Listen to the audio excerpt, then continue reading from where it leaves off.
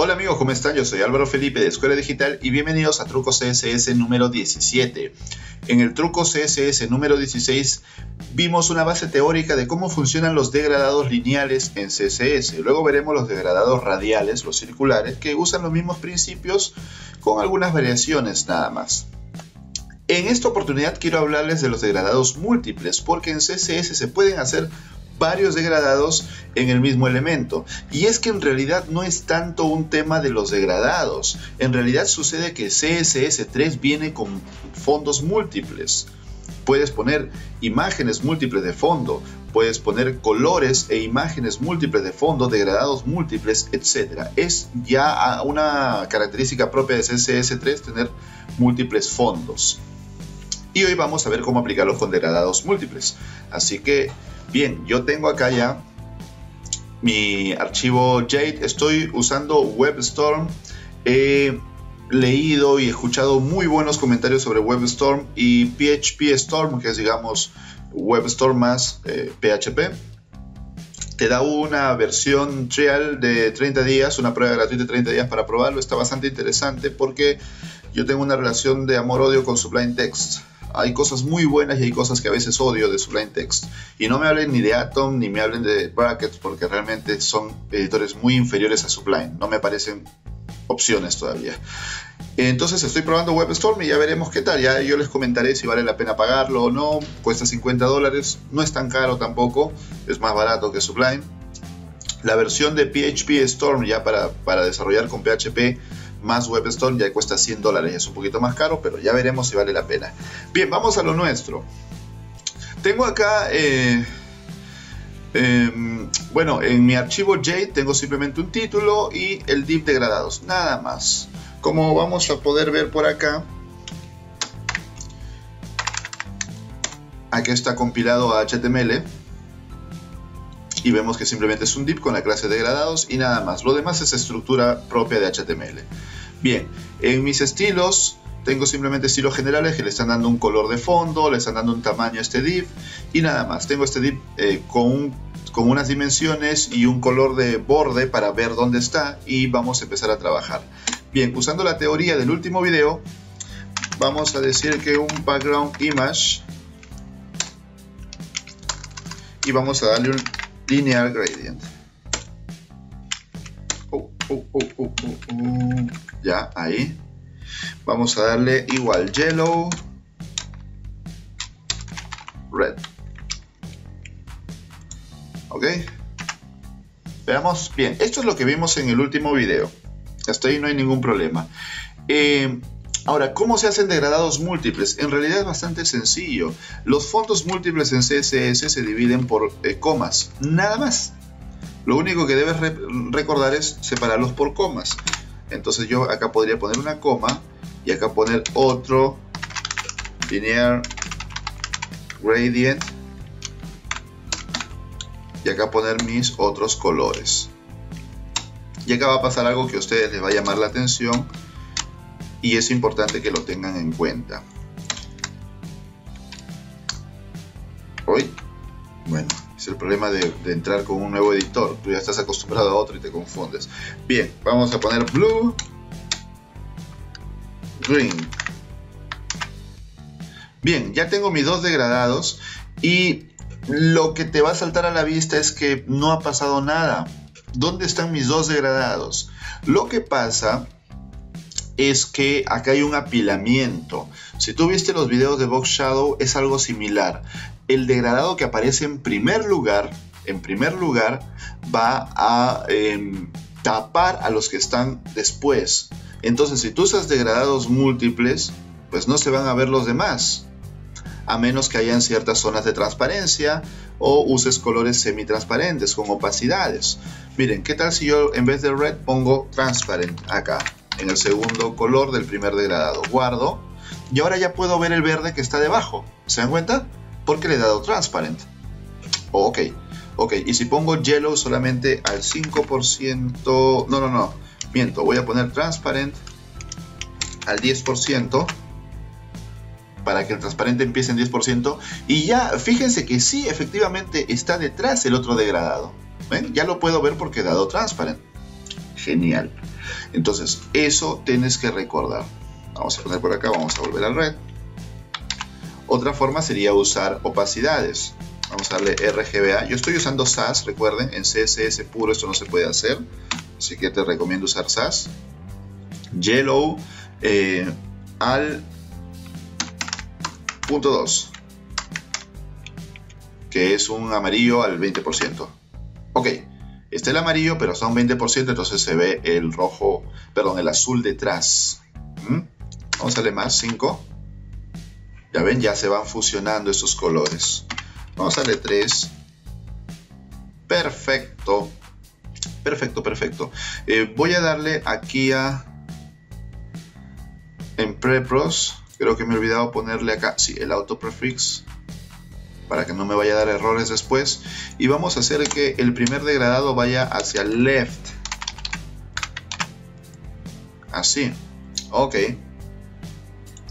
Vamos a, vamos a hacer un degradado sólido. Sin saltos de color. Ahí está, miren. ¿Se dan cuenta? Entonces, de esta manera ya estoy notando el cambio. Vamos a darle un punto 9 para que se vea muy intenso el amarillo. Y ya casi no se ve lo que está detrás. Pero yo sé que está detrás. Entonces es importante que tú tengas en cuenta esas transparencias. Ahora, otra cosa interesante, que ya lo vamos a ver en otro video en más detalle, pero te quiero contar el tip, es que al ser cada uno de estos un fondo, separados por comas, yo puedo aplicar propiedades como background size. Tú debes conocer background size. Incluso eh, yo hice un video hace eh, ya un tiempo búscalo en el canal, hice un video sobre background size y background size tiene bastantes propiedades, ¿no? Puedes usar tamaños, puedes usar palabras clave, puedes usar cover, contain, etc. Pero lo interesante aquí es que como yo tengo dos fondos, porque tengo dos degradados, cada uno de ellos puede adquirir un tamaño diferente. Miren, voy a ponerle al primer, al primer tamaño 20% y al segundo separados por comas en el mismo orden auto y vamos a ver qué sucede. Mm, te das cuenta. El primero, el primero eh, ahora tiene un tamaño del 20% y se repite.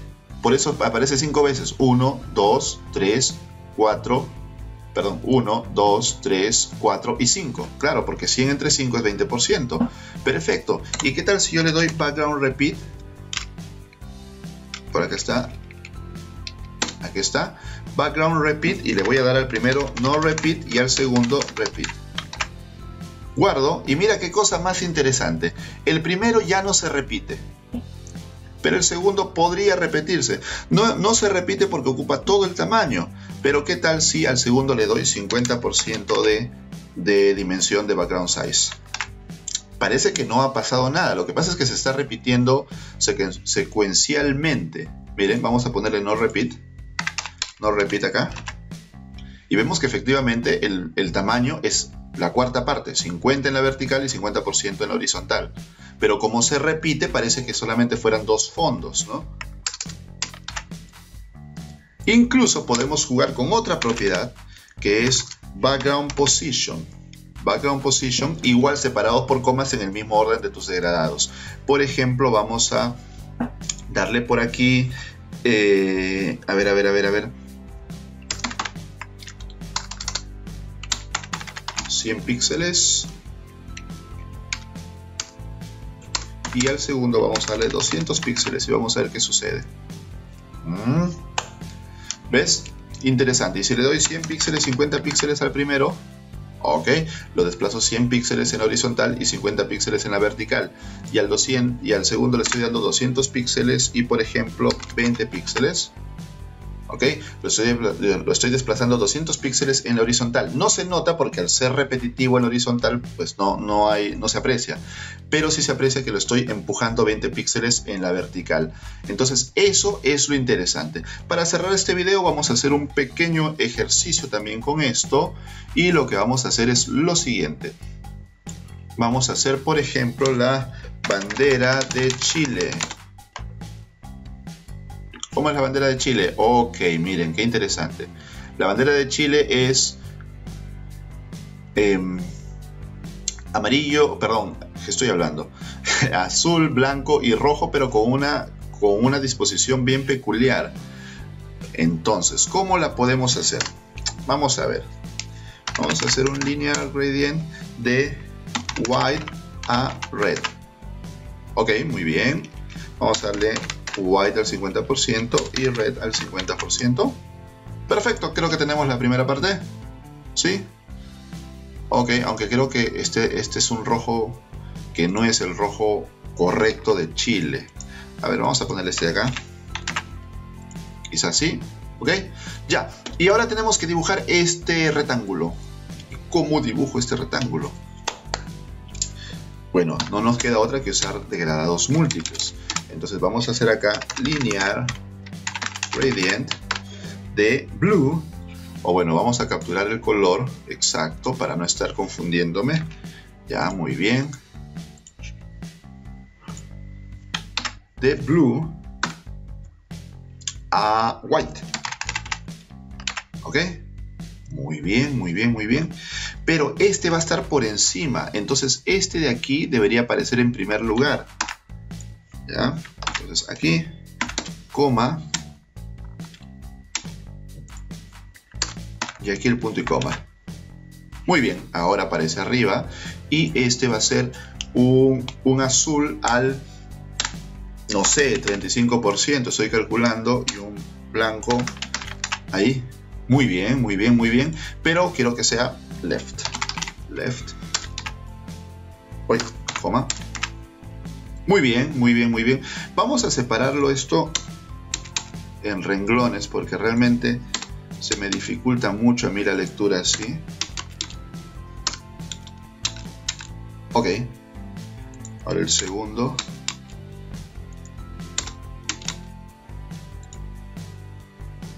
Perfecto.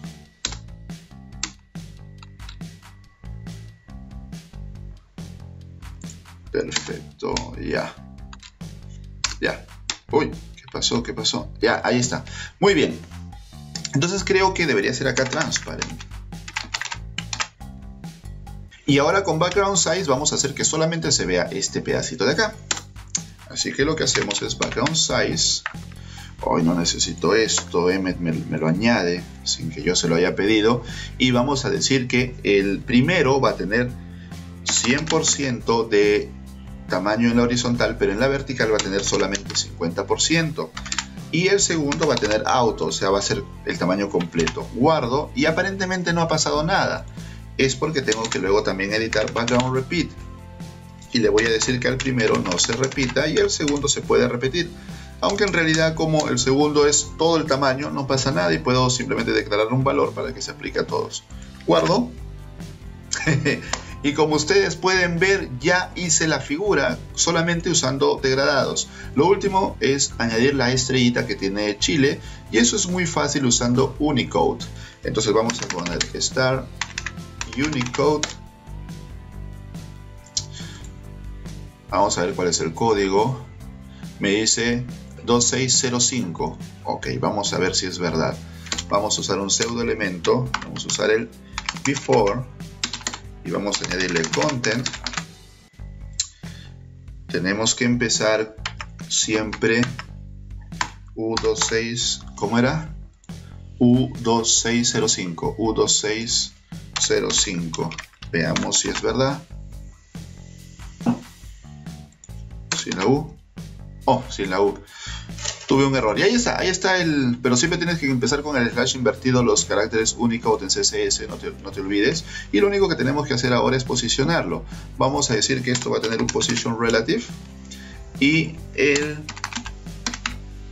el before va a tener un position absolute. Va a tener un color white, blanco. Va a tener un top 0 y un left 0. Ahorita lo ubicamos, no se preocupen. Ahí está, muy bien un font size de 2M, muy chiquito, 5M, muy chiquito, 8.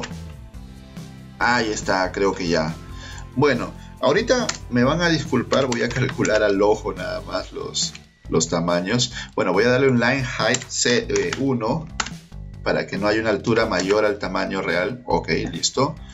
Mm, me van a disculpar que voy a posicionar al ojo esa estrellita. al tanteo. No debería hacerlo, pero bueno, pues ya es que simplemente es un ejercicio que salió así rapidito. Creo que está bien.